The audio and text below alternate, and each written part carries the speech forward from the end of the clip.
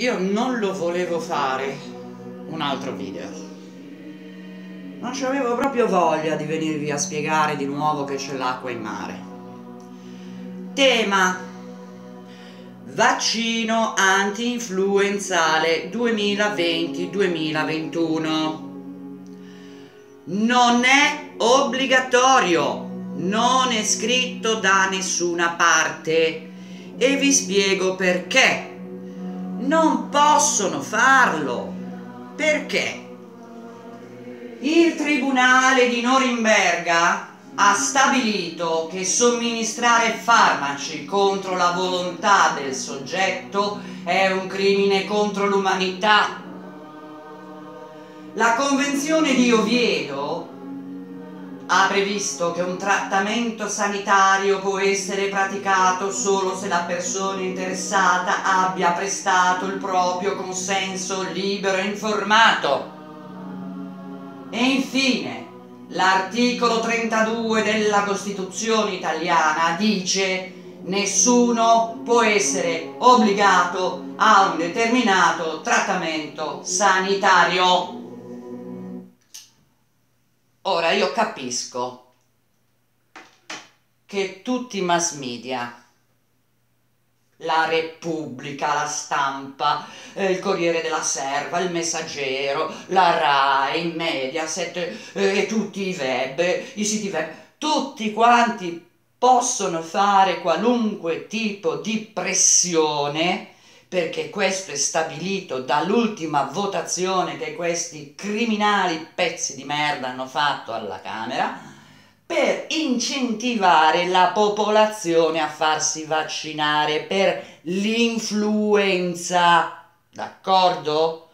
Ma non è obbligatorio.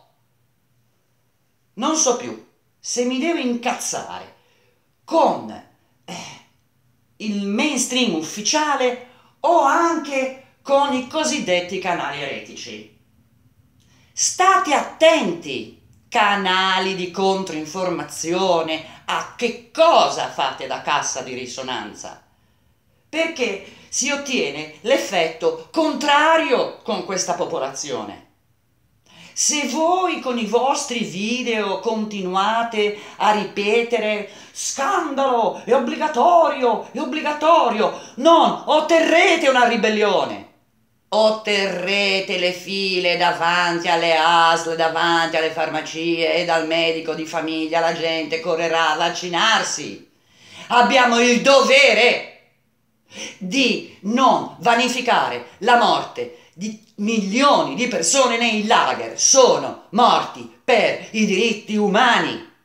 E allora, come canali indipendenti, noi dobbiamo veicolare la possibilità di dire no. Ripeto, stampatevelo bene nella testa. Tribunale di Norimberga, non si può somministrare farmaci contro la volontà del soggetto perché è un crimine contro l'umanità. Convenzione di Oviedo. Un trattamento sanitario può essere praticato solo se la persona interessata abbia prestato il proprio consenso libero e informato. E infine, articolo 32 della Costituzione italiana nessuno può essere obbligato a un determinato trattamento sanitario. Infine aggiungo una piccola mia considerazione, un mio piccolo dubbio. Eh, ho il dubbio che presi dalla foga di essere canali di controinformazione, ci si faccia un po' prendere dal proprio ego, avere visualizzazioni, avere like, diventare famosi. Mi raccomando, eh, guardate che l'ego non porta qualcosa di buono per tutti. D'accordo? Non è obbligatorio farsi vaccinare contro l'influenza quest'anno 2020-2021. Ripeto, Tre leggi ci sono, tre leggi scritte E se avete un po' di pazienza e voglia di informarvi veramente, vi andate a prendere i documenti della Camera, leggerete scritto nero su bianco che no.